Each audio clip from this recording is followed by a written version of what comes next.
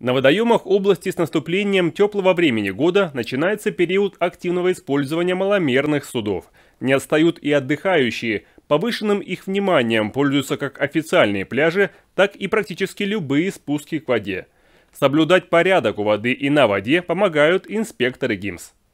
Десногорское водохранилище – одна из достопримечательностей Атомграда и области. Водоем традиционно привлекает сотни туристов и рыбаков, особенно в теплое время года. Но пока одни отдыхают, другие находятся на очередном дежурстве.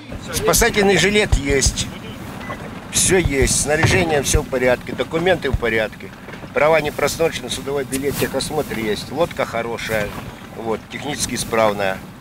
Главная задача инспекторов ГИМС – работа с подобными небольшими судами. Внимание уделяется как документам, так и лодке. Она должна быть в абсолютно исправном состоянии и укомплектована спасательным инвентарем. Под надзором сотрудников более 40 квадратных километров Десногорского водохранилища. На особом контроле места, которые чаще всего посещают любители рыбной ловли.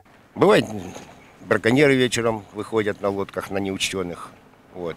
Ну, водохранилище большое, стараемся вылавливать, чтобы все это было по закону, чтобы все это было нормально. Ну, все ж не выловишь.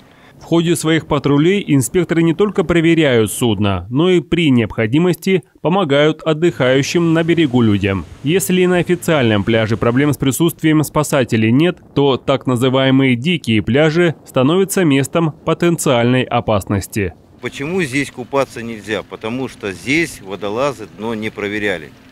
Никто не знает, что находится под водой, даже э, на глубине метр-полтора. Подводные препятствия и отсутствие спасателей вполне могут привести к травмам. А вот летальные исходы обычно вызваны другой причиной. Основная причина – пьянка. Поголовная, можно сказать. Я не открою секрет, 99,9 тонет выпившие – тем не менее, акватория Десногорского водохранилища считается благополучной. Но дисциплина отдыхающих все же хромает. О том, что особый эпидемиологический режим еще действует, под жарким июньским солнцем вспоминать совсем не хочется. Купальный сезон и пляжи официально еще не открыты, спасателей нет, поэтому э, все эти нарушения могут привести к печальным последствиям. Олег Соловьев, Владислав Полоскин, Десна ТВ.